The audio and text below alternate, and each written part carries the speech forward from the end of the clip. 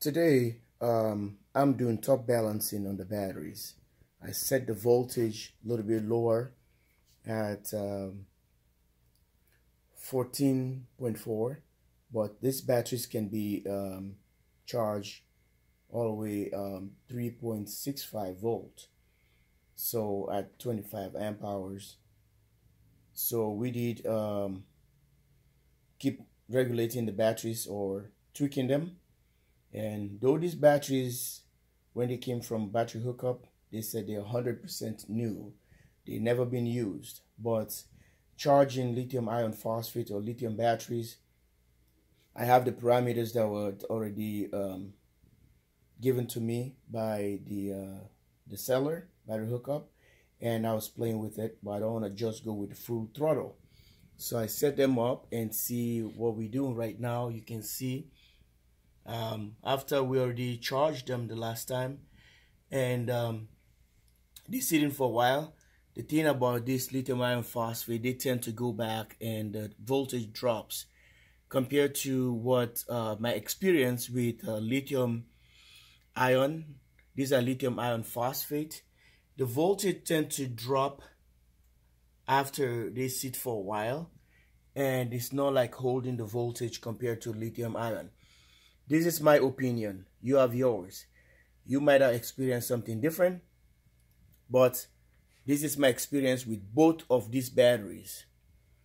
And I have seen or I have learned from the previous years now, year or two going using the lithium batteries more than that. And uh, you guys have seen all my videos. And um, this is all the uh, my BMSs I created uh, by JW Solar USA. The batteries are all linked. And come here, you see everything tied and it's balancing every cell simultaneously. It's not like taking taking high voltage from the other cells and bringing them all the way. Make sure everything is uh, tied up. The way you can tell that this um, battery is almost about, in a sense of is low, the other one is high. When you interconnect these wires, my BMSs I built, and they're gonna arc. Each battery that is low is gonna arc. When it arcs, that tells you that battery is low, it needs more uh, power. So that inrush power coming in, and it, it, it creates the arc because uh, it's a lot of uh, amps and volts rush into that uh, cell, then all of a sudden it's going to arc. So these are temporal setup. I don't want you to think this is how gross or maybe um, a non-professional look, but this is just I can able to balance all these batteries. You're talking about 100 cells here. They are created into five modules. 20 on each, 20, 40, 60, 80, 100 cells right here. So what is happening is tweaking everything after that. The power is gonna get to the cells like this, the other panel right here. This is the bifacial here. There's a lot of snow sitting on top of that panel. And I've seen, I've shown you guys the video the last time and just check it out and see exactly what I'm talking about. You see um, where the panels are sitting. They're not on a roof. They're not like a thing. It's just laid just lay everything flat on the deck. And mind you guys, we had almost about uh, two feet of snow yesterday. According to my, not the TV, but according to my place. And the snow is all the way to my knee. And I was stuck. I can't even go to work because my car was buried into that thing. I can't get no way to get out. So guys, this is what it is. And um, I'm telling you, it's not easy. But this is what it is. It's, this is Minnesota. And the sun is just trying to take a peek a little bit on the, um, on the horizon. And you see, sitting here, I can't move my car. I can't go anywhere. So till we get place cleaned up. So he's tweaking the batteries and uh, it's gonna be um, the 3.65 3.65 volts gonna be the max because I want to charge them all the way max. 3.65 volt then after that I can regulate it not to go that high because I want to keep the batteries healthy and so that they can last me longer. So I'm gonna charge them almost probably 90 95 percent. The next time if I want to use these ones now I'm gonna change the setting instead of go to 3.65 volt. Then they float at 3.6 so I'm going to regulate that, maybe bring it down to uh, 3.6 for absorb. Then it can be and uh, 3. Point, um, instead of 3.6, it's going to be probably 3.4 or 3.5 for float. I can keep them there. So I'm not going to use the 3.65 volt anymore to go max. Okay, I just want to make sure that it pressurize all the batteries. And this one is bringing about 38. And let's check this one here.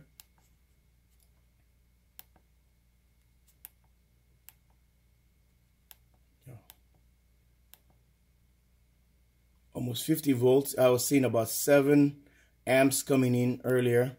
Speaking of from the bifacial and this is what it is.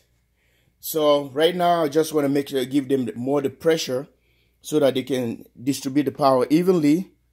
Do the sharing thus I uh, uh, uh, shorten up the uh, the length of the wires because these are all connected into bus bars.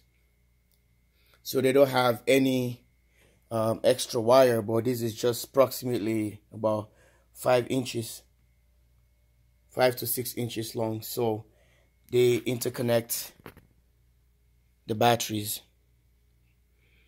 Okay? This way how the battery was set up. But um, I got it a little bit longer compared to these guys here because of the spacer. See they have more space. These guys are all locked in. So that's why this one is a little bit longer.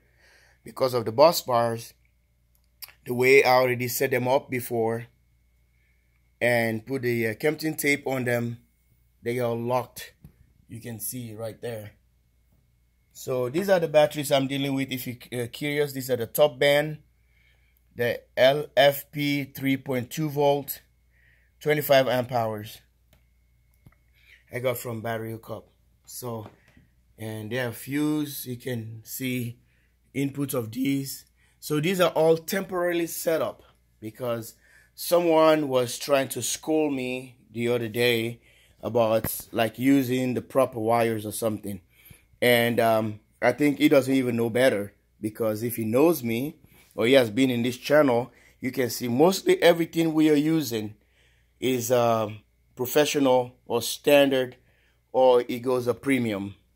That's what we're using. We don't use any kind of uh, flimsy things here to um, persuade people from doing things and this is uh, my thing. I'm doing things that uh, um, um, the things I'm showing here. This is what I do, and uh, everybody has his or hers to do whatever they want to do. But this is what I'm doing here.